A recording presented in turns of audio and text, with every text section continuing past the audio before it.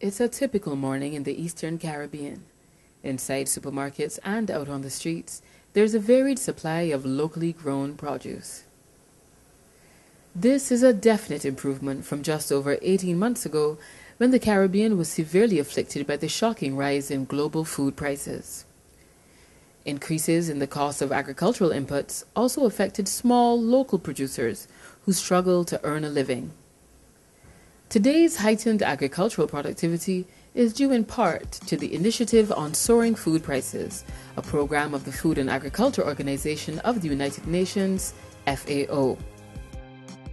Since early 2008, FAO has been supporting governments in supplying agricultural inputs like seeds, fertilizer, animal feed, and medication, as well as technical assistance to boost production and stabilize local food prices. The program also helps vulnerable farmers to feed themselves and to earn more. The results have been encouraging.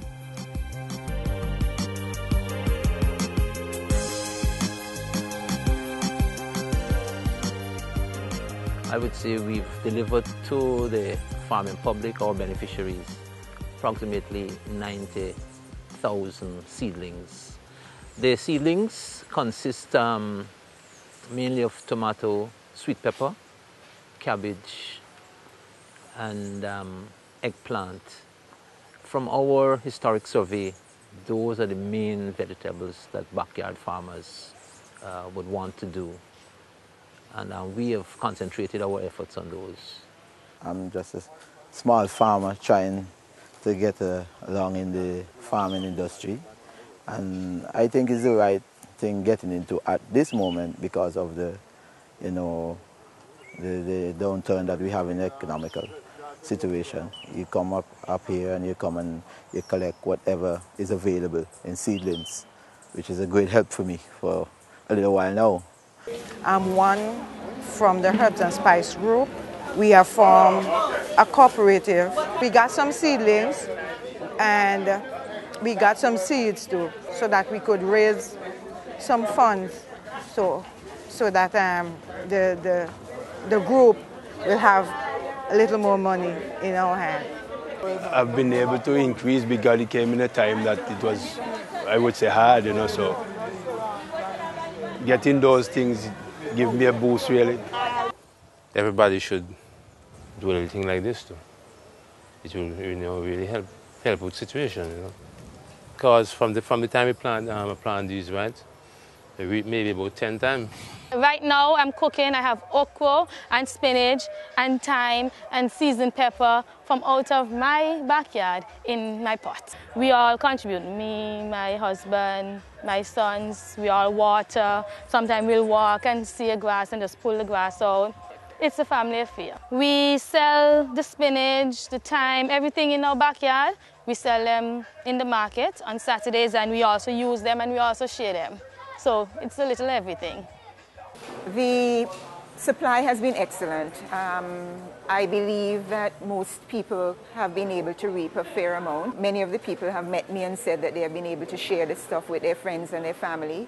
And I think we have seen for the very first time in Antigua and Barbuda a bumper supply of cabbages, which has not ever happened during my 25 years in the sector. And it has been good.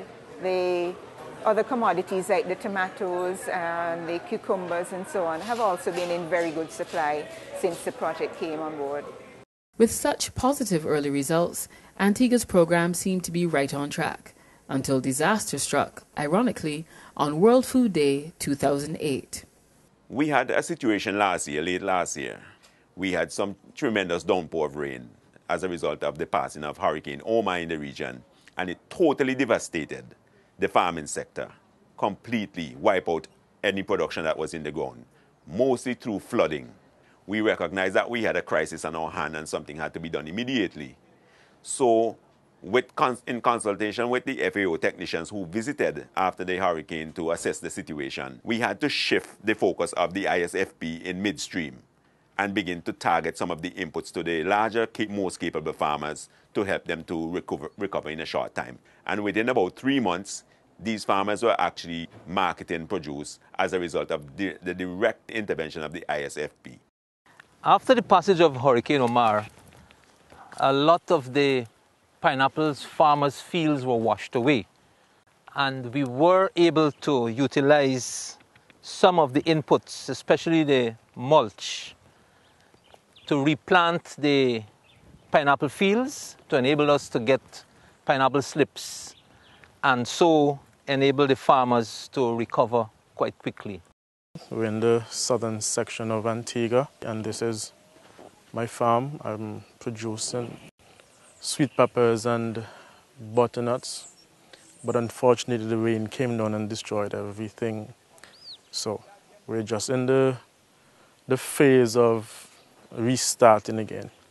Yes, FAO has been assistant to me by with fertilizer, chips, seeds, because you know farmers always need assistance because the dry is against us sometimes and the rain sometimes come and it work against us. And any amount of help we can get, I guess all farmers would appreciate it.